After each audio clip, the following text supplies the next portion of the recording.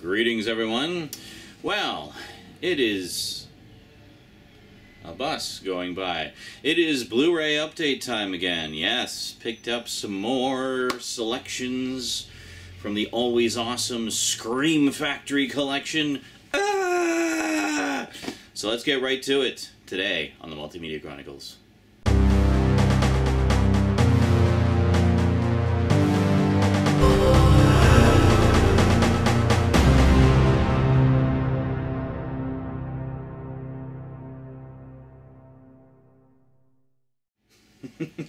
I do that for all the people who think I'm boring. Ha ha! Alrighty, let's uh, let's get right to it, shall we? In no particular order. First up, we picked up Deadly Blessing. Yeah. Uh, I remember seeing the you know postings about this when it was coming out. I've never seen the film. Most of these are ones that I've never seen. Um, in fact, they're all ones that I've never seen, but ones that I'd heard about and just never got around to checking out. So Deadly Blessing. Um, thought the artwork on the cover was really nice. Uh, I didn't realize though that this is Ernest Borgnine. Yes, Ernest Borgnine. McHale from McHale's Navy as a fanatical religious cult leader. Like, how awesome is that? Yeah, apparently it's a terrible film, at least according to some people I've talked to, but who cares? I don't watch these types of movies expecting high art, I watch them expecting cheesy horror fun. So, Deadly Blessing, pretty cool. And uh, as with most of the collector's editions, reversible artwork. This is the original, uh, the original cover, or the original poster art there. Very cool indeed. So, uh, and it also has uh, what's his face from uh, The Hills Have Eyes and uh, One Flew Over the Cuckoo's Nest and uh, many, many, many other movies. Great, uh, great actor. What's his name? I can't remember what his name is. Anyway, um, yeah. So in terms of extras, we've got audio commentary by director Wes Craven. So this is one of his pre Nightmare on Elm Street movies. It's actually from 1981. Uh, interview with actress Susan Buckner and writers Glenn M. Benest and Matthew Barr. Uh, TV spots and theatrical trailer. So pretty cool stuff. Pretty cool. So with the uh, reversible artwork, you actually do get different pictures on the back too. So that's that's kind of cool. Alrighty, so Deadly Blessing. Let's can we put it there? Put her there, pal. All right, we'll put it there. Next up, we have now this one I remember seeing a lot, uh, a lot of pictures of this in Fangoria magazine and whatnot. Never, I think I might have actually seen this, but it was so long ago I don't honestly remember. So, might as well just say I've never seen it because uh, it'll be all new to me all over again, even if I have. We have Night of the Demons. Yeah, classic, uh, you know, sort of college party rock and roll horror demon thing. Um, yeah, everybody I talked to has nothing but good things to say about this one. Say it's a lot of fun and such. So uh, definitely looking forward to checking that one out. Um, there's some pictures on the back there, pretty cool. And then if we uh, slide this up, there's the original cover. So that's the picture. That's the picture that I saw a lot of all over the place uh, when the movie was was fairly new. Uh, there we go. Sorry, try to keep the glare to a minimum. So, uh, yeah, so this one actually has quite a lot of extras. We got a new commentary with director Kevin Tenney and actors Cathy Podewell, Hal Havins, Billy Gallo, and FX artist Steve Johnson. Audio commentary with director Kevin Tenney, executive producer Walter Josten, and producer Jeff Geoffray. I'm guessing that's a previously released commentary that they got the rights to. It's pretty cool. I have uh, a couple on there. New interviews with cast and crew, including director Kevin Tenney, writer producer Joe Augustyn, and actress Linnea Quigley. Uh, promo reel, video trailer, theatrical trailer, TV and radio spots, still galleries, and much more. So very cool. So yeah, not too uh, not too shabby. I guess we'll show you the the different pictures on the back. There you go. Don't know how well you can see that, but whatever. Watch it on a big screen and you can see it fine, I'm sure. Alright, so Night of the Demons. Next up, we got the Funhouse. You gotta love a carnival of terror because we all know how terrifying clowns are and how terrifying, creepy funhouses are.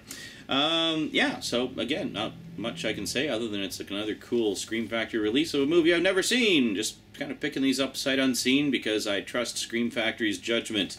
Uh, there we go. So the Funhouse, and then here we have the original cover there. I actually remember seeing this uh, cover quite a bit too. I remember seeing the VHS release kicking around quite a bit, uh, but again, just never got around to watching it.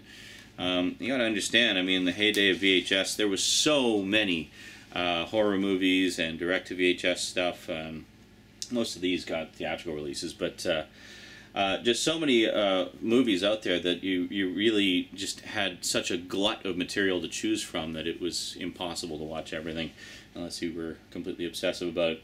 So this one is actually directed by Tobe Hooper uh, of Texas Chainsaw Massacre fame.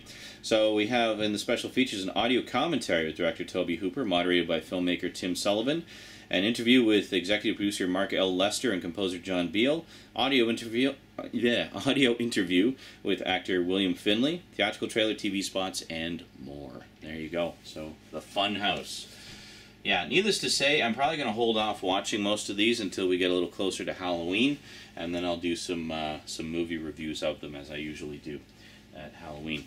Now having the uh, the camera um, a little more mobile, and actually still having last year's Halloween set up, uh, it should be a little easier to do a little more stuff for Halloween this year, so uh, definitely look forward to that. Next up, we have The Burning. It was kind of funny when I got these, Rosie uh, got a hold of them was just looking at the covers, and she brought this one over and just said, Daddy, this is disgusting. she was quite appalled. I'm like, well, it's a horror movie, sweetie. It's supposed to be disgusting. It's like, well, this is disgusting. She was like completely just taken aback and did not approve at all. so we have the uh, cover there, and then the original, uh, the original uh, poster art there, of course. Quite cool. I love how they do this.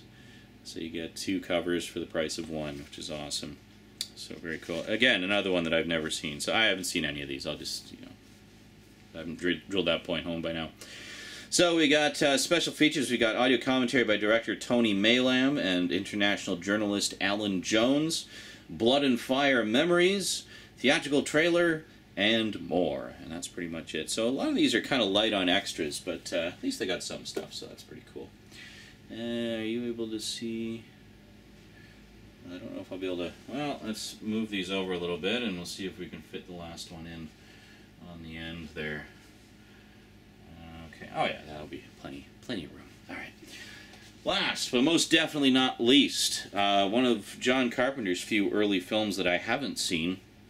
Uh, I've been wanting to check this out for ages. I understand it made like a, uh, a top creepy horror films of all time list in recent years, and uh, stars the inimitable Donald Pleasence. Gotta love him.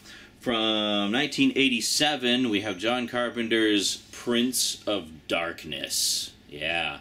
Which uh, I've been wanting to check out for a while because he cites this as part of his so called Apocalypse trilogy. Um, what are the other two? I know The Thing is one of them. I think In the Mouth of Madness is the other one, actually. Uh, so yeah, so this is another one of his his apocalypse, you know, end of the world type stories. So pretty uh, pretty cool stuff. So yeah, I've never seen this, and I've been wanting to check it out for ages. And who could pass up a beautiful Shout Factory or beautiful Scream Factory edition like this? So we have uh, there, and then we actually have the original cover there. Again, one that I saw lurking around on VHS for a very long time, and just never got around to checking it out. So, did I show you the back there as well? Yeah, okay. So, special features we got audio commentary with director John Carpenter, new interviews with director John Carpenter and Alice Cooper, and theatrical trailer. That's pretty much it. So, we got a commentary and some interviews. So, definitely light on extras, but uh, yeah, whatever. It's Prince of Darkness, and the most deluxe edition we've ever had of it, too. So, so that's pretty cool. And there you go. Ta-da! So five new additions to the Scream Factory collection, all with the slipcovers. As you know, I, I actively seek those out, and uh, I always try to get those, especially with the uh, collector's editions here, where they have different artwork. So you can actually have, you know, if you have the slipcover, you can have two covers, two completely different cover arts. Cover arts? Yes, covers arts. Anyway. Uh, yeah, so pretty cool stuff. So I'm definitely uh, going to enjoy checking those out when it gets a little closer to Halloween.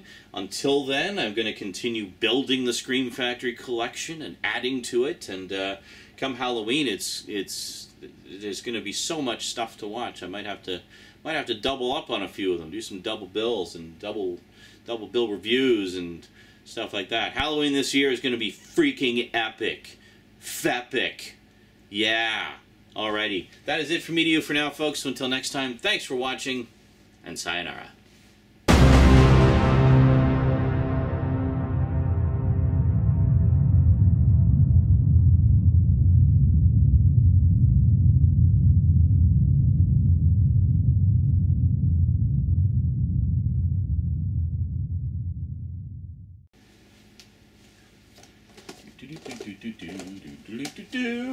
My horror shelf is buried in the back because I'm doing VHS stuff. We'll just put it on top of the sci-fi for now. Eh, that won't fit. There we go. Okay, so let's put those. Put those there. That should be fine. All right. You even see? Oh yeah, you can see. I I put them there. Yeah, they are. That's temporary. They will find a permanent home later when I clear away the VHS in the back. Bye.